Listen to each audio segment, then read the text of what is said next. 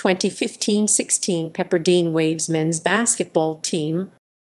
The 2015-16 Pepperdine Waves men's basketball team represented Pepperdine University during the 2015-16 NCAA Division I men's basketball season. This was head coach Marty Wilson's fifth full season at Pepperdine. The Waves played their home games at the Firestone Fieldhouse and were members of the West Coast Conference. They finished the season 18-14, 10-8 in WCC play to finish in fourth place. They defeated San Francisco in the WCC tournament to advance to the semifinals, where they lost to St. Mary's.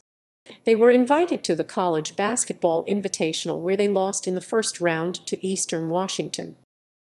Previous season, the Waves finished the season 18-14, 10-8 in WCC play to finish in fourth place.